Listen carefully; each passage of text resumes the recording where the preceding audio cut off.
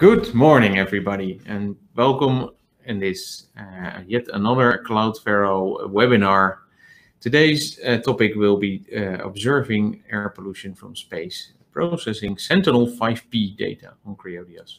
My name is Siebrand van Bijma. I'm working a remote, as a remote sensing uh, data expert, and uh, I've been uh, working a bit with Sentinel-5P over the past year, and I would like to share my experiences in how I used Creodias uh, to process this data.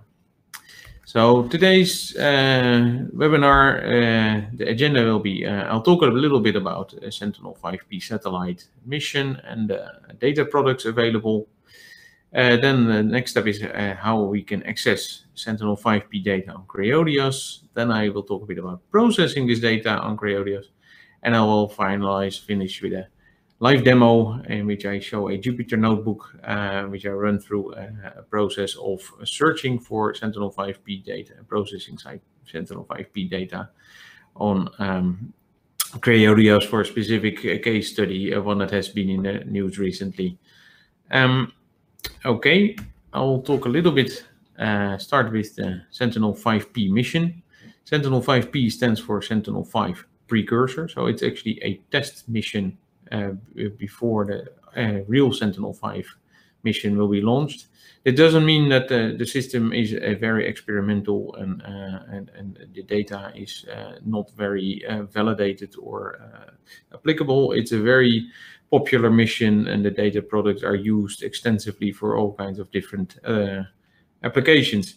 So it's a satellite mission that will focus on monitoring the atmosphere uh, with the uh, onboard system, the tropospheric monitoring uh, instrument, instrument, the TROPOMI instrument.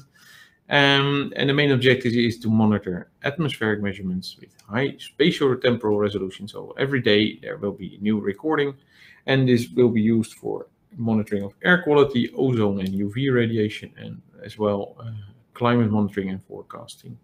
There's more information about the satellite mission and the data products in the link below um, yeah, so I uh, recommend you to, uh, if you want to reach further, to uh, go there. Um, and yeah, I um, the the the data uh, from Sentinel 5P uh, is uh, produced to a, a, quite a few, quite a wide range of level two products. a quick walkthrough um, what main products there are. There are a few more uh, than, than on this list, uh, but these are the most important ones. So um, yeah, the first one is the aerosol absorption index, which is uh, a measure of aerosol density. Aerosols are tiny particles in the atmosphere, and they can be related to dust outbreaks, volcanic ash, biomass burning. Um, yeah, that um, it's it's a measure of of yeah the, the aerosols in the atmosphere. And then we have carbon monoxide, which is a result of uh, combustion of fossil fuels, biomass burning, uh, or atmospheric oxidation of methanes and other hydrocarbons. Is a very um, there's a lot of very complex chemical processes in the atmosphere that uh, that are being uh, yeah that are ongoing and uh, um, the, the, these products they they they are uh, giving an indication of of yeah parts of these chemical processes. Um, yeah, then there's one very short cloud fraction, so just a cloud map basically. Uh, also very important for meteorological purposes, but um, yeah, also uh, also a, good it gives a good indication where are clouds, so where uh, are uh, other components other than clouds as well. Um, then we have the formaldehyde, which is an intermediate gas. Um, that that uh, yeah that, that that that's formed after oxidation of also methane if I am correct, and eventually leads to uh, CO2 because that's the big one always CO2. Uh, yeah, there's no as you can see there's no CO2 in the the lists. Um, yeah, but there, there's work now on, on new satellite missions that that that, uh, that that that are more focusing on that. But this uh, a lot of the the products that are uh, created by Sentinel or created from Sentinel 5P data are uh, giving an indication of CO2 levels as well. So methane, which is a yeah, is a very powerful uh, greenhouse gas. Um, yeah, it's emitted naturally, but most of the emissions are now anthropogenic. Uh, nitrogen dioxide, quite well known, is a result of combustion of fossil fuels, biomass burning again. Uh, ozone, uh, yeah, is is a, ozone is known from the ozone layer, but it's also acts as a greenhouse gas in parts of the, the troposphere. And uh, sulfur dioxide is also a result of combustion of fossil fuels, as well as fossil, volcanic ash. So there's uh, quite a yeah quite a range of, of products, and, and, a lot of them are related to greenhouse gases. A lot of them to general air pollution. Um, so uh, it, it it's nowadays uh, a mission that's that's that's uh, creating a lot of attention. Um, as you can see there, um, yeah, there's there's the the, the, the use cases. Uh, some of them have really been in the news. Um, so it the data is used for monitoring of air quality, which can be related to seasonal variations or events, forest fires, which will be the topic of my live demo later. The forest fires. You may guess which forest fires I've been looking at. And also, what was really uh, in the news last springtime is the effect uh, of the lockdown measures uh, around the world related to coronavirus on the air quality. Uh, on the right, top right, you can see it. I, I hope it comes through nice, uh, quite well on your screens at home. Uh, but it's an animated image of air quality, NO2 emissions in over China in springtime. Um, where you can see a big drop when the corona uh, related lockdown measures were taking place that uh, the air quality suddenly uh, improved a lot which was a in the news um, yeah and then also uh, the use case a lot of uh, greenhouse gas emissions. As i called methane carbon monoxide formaldehyde ozone they're all related to greenhouse gas effects uh, or the greenhouse gases. Um, so yeah, uh, on the bottom right, there's also an example which is quite interesting, which people didn't know, but from Sentinel-5P data they in, uh, in, in parts of Siberia, they suddenly noticed there were a lot of emissions in places where there's not really a lot of population density, and along a line, um, a certain line. so they figured out it was actually along a pipeline which transports gas from one part of Siberia to another uh, with uh, along this gas pipeline there were pumping stations which created which which pumped the gas to a certain pressure uh, further along the pipeline which uh, also emit a lot of uh, NO2 is this this case uh, a lot of emissions nobody really knew these these that, that there, there was the emissions sources but yeah from the Sentinel 5P data it was quite clearly shown that yeah these these these emissions take place there in, in, in very low uh, populated areas as well. So um, just a, a, few use cases. Um, so I would like to continue now uh, to, well, the Sentinel-5P as it is on Creodias. Uh, Sentinel-5P uh, is uh, hosted on the Creodias platform uh, as just another satellite data source. We have, yeah, Sentinel-1, 2, 3, uh, Landsat data, uh, other data sets as well. Sentinel-5P is just another one. It's stored and it's indexed. So, which means that uh, you can search it through the Creodias Finder or in the Creodias browser or through API access. Um, yeah, it's stored in a netcdf format uh, with a suffix uh, with a with this extension NC. Uh, which is basically a, a database format, uh, which is very commonly used in uh, meteorological um, for meteorological data or large scale global data sets often. Um, so it can be accessed. I will show in my live demo how this data is accessed through API querying. Um, yeah, and then uh, processing, data processing can be processed in a lot of different um, uh, bits of software. Uh, I've been um, uh, focusing a bit on, on what uh, on a, with the software that I've learned on a training course last year, which are the the, the HARP tools, uh, which is developed especially to ingest, yeah, a large amount of mostly global or lower resolution data sets uh, in an automated way. Uh, and the, the, software capable of uh, ingesting a lot of different images and creating monthly, weekly, daily averages uh, specific areas of interest. Um, yeah, that's what I also would like to mention is that the data, if you work on a Creodias virtual machine, uh, there's absolutely no use to, uh, no need to download the data. You can work right there. You can access the data as, as it were a folder on your desktop, desktop or on your on your hard drive. And so there's no need to uh, download the imagery. And there's uh, the yeah computing capabilities are flexible. You can scale up if you need to uh, down uh, process a lot of data. You can downscale it if it's uh, not so much if if yeah if, if uh, a lot of computing power is not necessary anymore. Um, yeah these harp harp uh, tools this harp software more information can be found in the link at the bottom. Um, so um, yeah then i would like to go to the case study well um, a recent example it's actually still ongoing uh, was in the news last week, the last two weeks and there a huge amount of forest fires in the western parts of the USA, so mostly in California, Oregon, and Washington state. Um, yeah, and, and, the news reports uh, show that uh, yeah, it was one of the biggest fires in, in uh, decades. Um, and that also they noticed the air pollution, the air quality uh, was really bad on the west coast, as you can imagine, close to forest fire. But also on the east coast of the United States, they noticed that the air quality uh, decreased a lot. And yeah, they they uh, from satellite observations they could see that yeah that, that that that that was related to the forest fires on the other side of the country.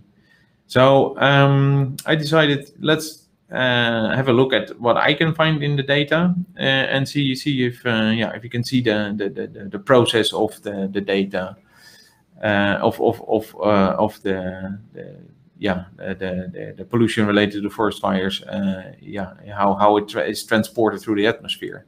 So I, I decided to use the aerosol, the aerosol absorption index, I should say, parameter that's uh, that's available in the Sentinel-5P data um, to monitor that, to make um, to make maps of that, to monitor this drift of air pollution to the east. So my um, study area is the uh, entire contiguous USA. So that's basically the USA minus Hawaii and Alaska. Um, the study period, I decided uh, let's focus on last month. So from let's say mid August to mid September. Um, and I uh, decided to um, create weekly averages um, because, yeah, I mean, Sentinel-5P has a, daily revisit time. So every day it passes over the same part of the globe.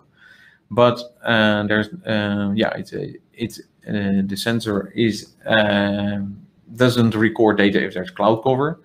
Uh, so if you make weekly averages, um, yeah, you you minimize the, the, the data gaps. Uh, so yeah, so the idea is to to uh, look for the data for a week and collate that with using this HARP software.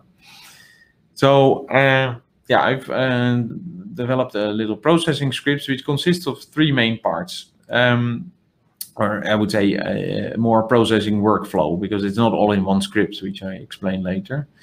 And so first, first step is to query the uh, Creodias Finder API uh, for uh, Sentinel-5P aerosol uh, data over the USA in the, in, uh, the past month, uh, and then split per weekly period. And the second uh, step will be to ingest uh, the Sentinel-5P in this HARP in this HARP software and create the, the, weekly average images. These two steps are all done with Python, as you can see. The last uh, step uh, I, I, didn't do in Python, but it can be done in Python. But I just happen to have used uh, R quite uh, quite a bit and I've always uh, been more impressed with their uh, mapping, the mapping capabilities, the plotting capabilities in R. It's just a matter of my personal preference.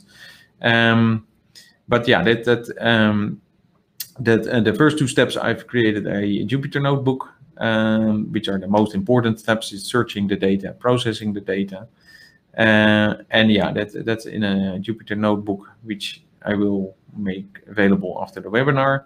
The R script, I, I, I plan to convert that to a Jupyter notebook as well. Um, but yeah, that I need to simplify that still a bit. Um, but yeah, that's that's uh, I will show in the Jupyter notebook already how to make a, a nice animation uh, in Python. Yeah. So uh, okay, then it's for me time now to switch to my live demo, um, which I will run uh, an, Creodias uh, virtual machine uh, running on Ubuntu.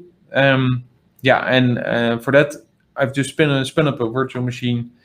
Uh, installed Jupyter Notebook or Jupyter, uh, and and uh, which, yeah, which uh, which is fairly straightforward, and the necessary Python libraries. Um, so that that's all you really need to do this. Um, to, to get this running on your own uh, on your own virtual machine or your own machine.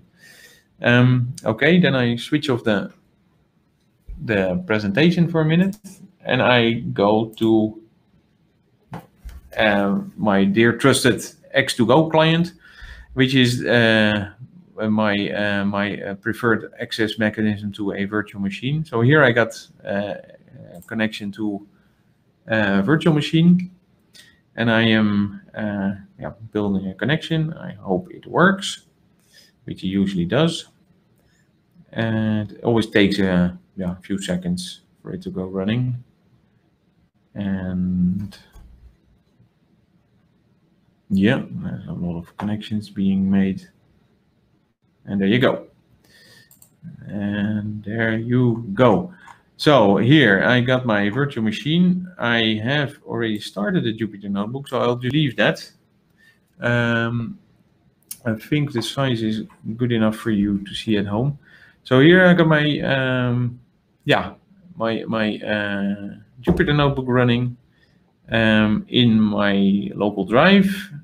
Um, yeah, so uh, I would like to just quickly walk through this script and show you what steps I have been uh, are taken to to to create these these maps. Um, so first of all, um, yeah, uh, some of the libraries need to be installed uh, if if necessary if they're not installed yet. Um, especially these harp tools, it's it's not uh, it's only available through Conda, which is another repository than the standard pip one uh, which can be installed on the command line, but it can also be installed by uncommenting this command. So here now, if you run this, this it will start to look for this harp software and try will try to install it. Uh, it's already done here, so I'm not going to be wasting time on showing how it's done again. Also, a few other uh, libraries that are in, in included uh, can be installed also by uncommenting and these these comments here, GeoPanda, sentinelsat, which is a specific one, uh, yeah, just to convert some GeoJSON data to uh, to uh, um, yeah to uh, to a format that uh, the API will understand. Um, so um, after installation, we will need to import a few necessary libraries in uh, in, um, in in Python. So the script will uh, no will be able to run it. Um, so I just click on run and yep, they are imported. So then I have defined two major functions um, to yeah to to run uh, uh, to run the process. The first one is uh, a function which I called S5P S5P search. So it's a search function which builds a uh, this function uh, if you give it the right input parameters, which is GeoJ, which is um, uh, the area of interest. Date ST is date start, date end. So that's the start date and the end date of the period of interest. And the product type.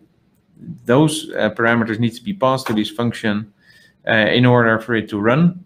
So um, yeah, then it will build, you can see here, it builds a, an API query with uh, input data then it will run the query and the response is uh, coming back and it, it's uh, with, with, all the different uh, data and that, that is found, uh, all the different satellite data that's found. And then it's changed slightly to include um, a path uh, to the, the, the netcdf data uh, file in the, in the data folder. And it it will uh, then return uh, all the different paths to these these specific uh, Sentinel-5P uh, images uh, in a uh, long list. Um, so I will run this this function later. it's just here a definition. Then the next one is this uh, processing function to process the Sentinel-5P data using this HARP software. So I have a function here named uh, HARP proc process. Um, this will need to um, this function. There's specific parameters that need to be uh, sent to this HARP uh, software, so it, uh, it it will understand how to process. Um, so it will need to know the size of the image in pixels in x and y direction, and also the yeah, the, the, the, the minimum XY, so the, the, the, the lower left corner coordinate. So that information is, uh, is uh, extracted from the area of interest that I define. I will come back to this later. Yeah, and then there's some specific parameters that need to be set to, uh, depending on the product that we're using. So this is for the SO2 data. We need to set specific parameters. Then we have the NO2. Here's the aerosol index, which is this is the the, the, the file, the, the folder name of the aerosol data. So we need to set uh, yeah specific parameters to run the processing. Um, pixels in x and y directions, and the, the uh, yeah also a resolution needs to be set, which I will discuss later as well. And then um, then we can run all these parameters into a uh, import function, which imports all the uh, Sentinel-5P data that has been found in the API query step. And, and then it will, and then the next step is to um, yeah, convert this data to a weekly average. And uh, the, the final resulting image will be a, a weekly uh, a geotiff of a weekly average of the area of interest. Yeah, then we do a bit of uh, this. This is just a function to, to give the file name that makes sense. So I decided to make a file name that includes the first day of the weekly average and the last day of the weekly average. Um, yeah, and then um, then we need to uh, extract the, the actual from the netcdf data that included the, the, the right uh, data, uh, the right uh, basically uh, little database with including the data that we're interested in. So for the absorbing aerosol index, it's it, it, it's this variable that needs to be excluded. And the last step is to just yeah export this that this this image to a geotiff. So th these are the two main functions that, that are in, uh, of interest. So now we can define the search parameters. So what area of interest are we looking at? What uh, period are we uh, looking at?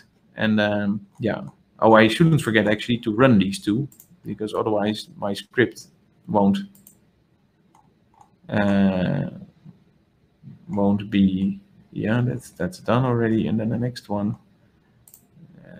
yeah, so the Jupyter Notebook has then these functions uh, as they are defined stored, so, and it can run them. So um, yeah, first I would like to set a working directory. So I just choose a directory. And then I, uh, yeah, I here define these, this next one is I define a period of interest. So I'm looking at the date range. So I do a weekly date range. So um, yeah, I start uh, in this one on the 20, the 2020 08 15 that's the 15th of august 2020 and i end now.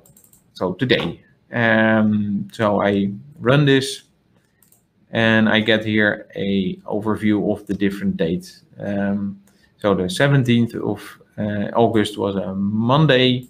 So i have chosen that my week start on a monday the 24th the 31st of august the 7th of september 14th and the 21st so the, these are all the, uh, the, the, the, the, first days of the weeks that are uh, uh, fall inside my area, my period of interest. Um, okay, um, which is uh, nice. Next one, I uh, want to define an area of interest, an AOI. Uh, in this case, we are interested in the western part. That's not completely right. That's the the United States. I'll change that. Uh, and yeah, this script needs a GeoJSON uh, to be present in the working directory, uh, and it will look for it. Um, this GeoJSON can very simply be made on the website geojson.io. I can quickly look on it. Yeah, here is the website. Oh, there's already a uh, a nice geodiv, a GeoJSON uh, of the area of interest, as you can see. Um, I'm going back to my script. So I need to define the name here. And then I need to extract the, the, bounding box coordinates of this GeoJSON. So I will need to open the GeoJSON. I haven't done that. And extract the, the extreme coordinates. So lower left, upper right. Um, and run that. Yeah, and here you can see the bounding box coordinates are from between minus 128 and minus 63 uh, degrees. Uh, that should be longitude. And the other one is between 24 and 49. Uh, oh, what's this? I need to turn off my, why is this on? Um, between 24 and 49 degrees latitude. Um, so that is seems about right but I can I can uh, plot it, make a plot of it, and see if it's uh, if the GeoJSON is is loaded correctly. So I make a plot of the GeoJSON. Wow, fantastic! A square or a rectangle, I should say. Uh, this is the GeoJSON plot, just in a in in in a, in a field of nothing, so you don't have any clue where it is. So there's uh, another way to display the GeoJSON is to do it in this geojson.io software. So here you go. I just click this link and then you can see it's it's loaded in this website with a map on the background and you see, yeah, it's it's, it's a right uh, GeoJSON. It's, it, it, it covers the entire area of interest. So next step is a bit a bit not so tricky, but it's um, yeah HARP needs to have a certain uh, resolution defined for the data because um, it and it needs to be expressed in in, in degrees.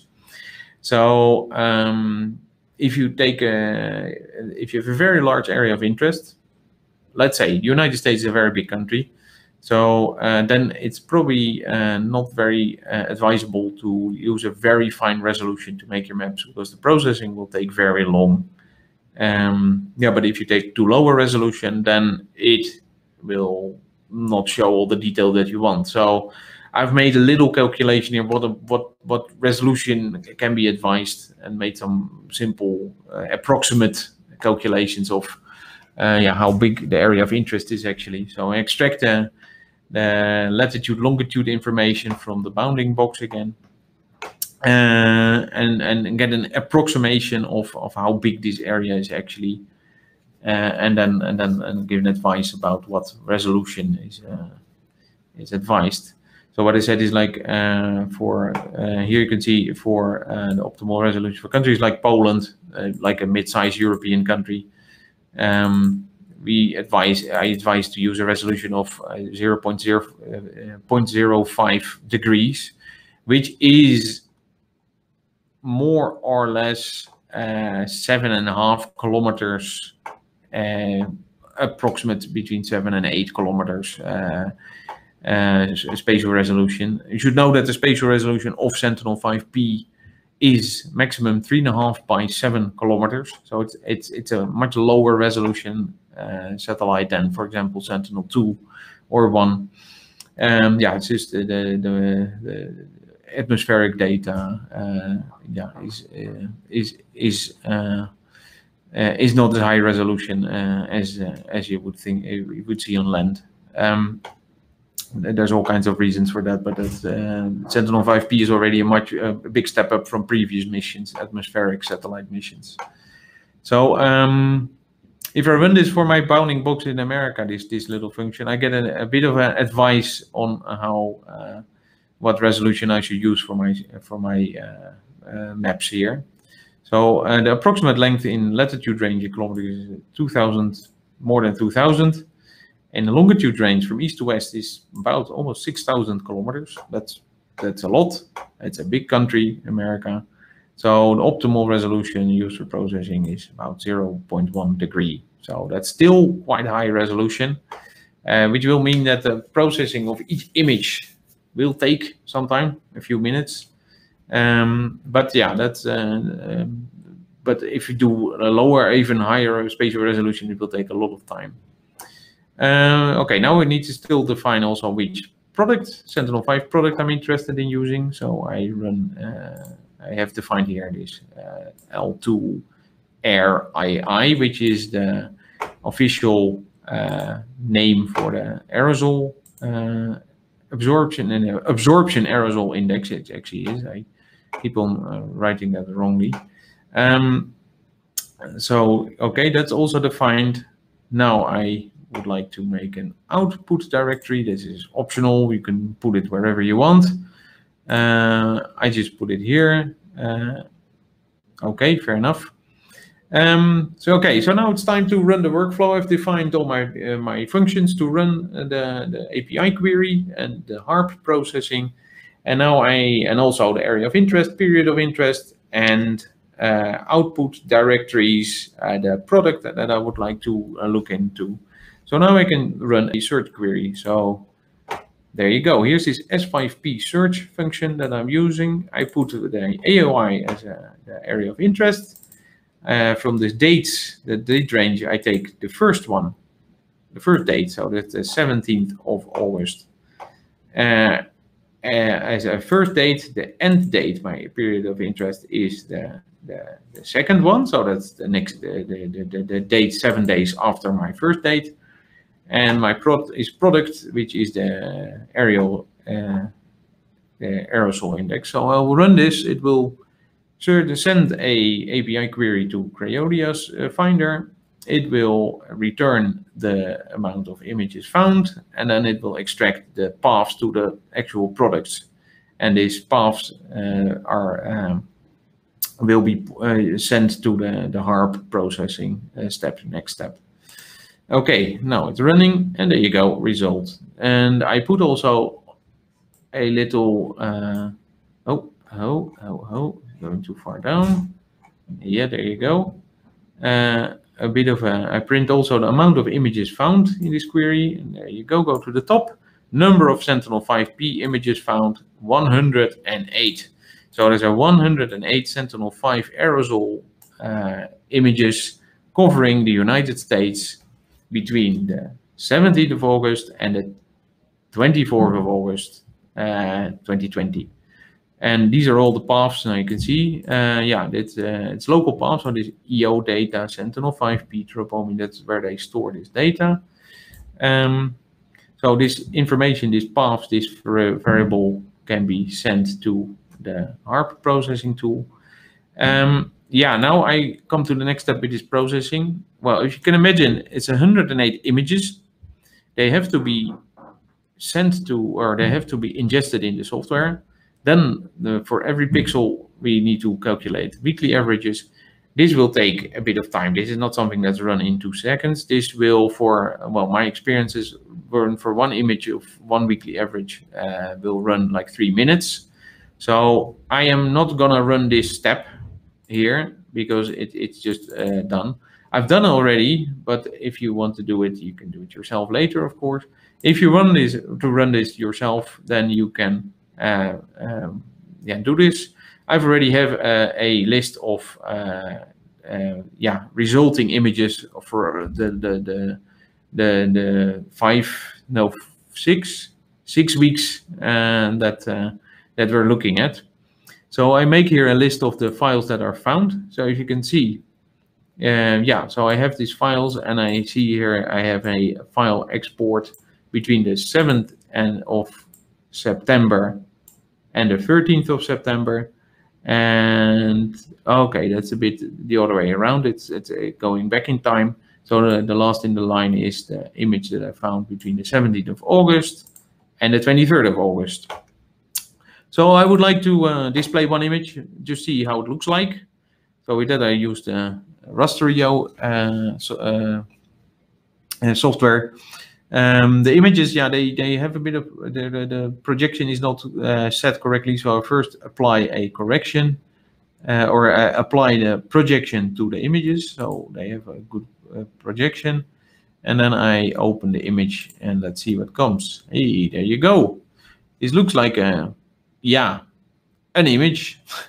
um, for some reason, you can see an uh, X and Y, the latitude, longitude. For some reason uh, in this plot, the latitude is, yeah, from uh, low latitude on the top to high latitude at the bottom. I think it's something to do with the way this geotiff is uh, uh, defined. Um, if you put it in GIS, uh, it will be the right way up, and you will see that this image covers most of, well, America. And you can see these, these bright spots here on the left uh, in the, the image, yeah, they are corresponding to uh, high aerosol content uh, to the west of the United States. So hey, there's something going on there. Um, so this can be looped. This is I can I have now uh, one. Well, in theory, if I would have run the the the the, the workflow as as it, I would have one image of one week. But now I can just loop it. So I just for every date in the date range, I I just uh, yeah uh, send an image send send these commands. So first I extract the paths through the API query, and then I process all the paths that come in with path list paths uh, to it, and then then it will run. Well, this this entire uh, step uh, runs in about 20, 20, 30 minutes. so I'm not going to do that again. But I will show you some results of the images that I've already created. So I want to make a animated GIF because that was my goal in the end. I told you that I uh, can do that uh, nicer in uh, R uh, myself. I, uh, um, but this is, can be quickly done also in Python. It can also be done nicer in Python, but this is just to show you an example how it can be done. So here I search for all the files that are in the output folder with the extension TIFF and those are added uh, to a list. Uh, yeah, they are um, uh, combined to a animated GIF. So I will run this. This will getting some error messages, but lossy conversion uh, error warning messages. Um, probably I, it would be better off if I would convert the data from float to uh, uh, integer before, but okay, it still works. Um, and then I have my last uh, step here is to visualize this GIF. So I just press this one and there you go. Something is happening. And I'll zoom in a little. Let's see if, oh yeah, yeah, yeah, yeah, yeah, yeah. And here you can see something going on.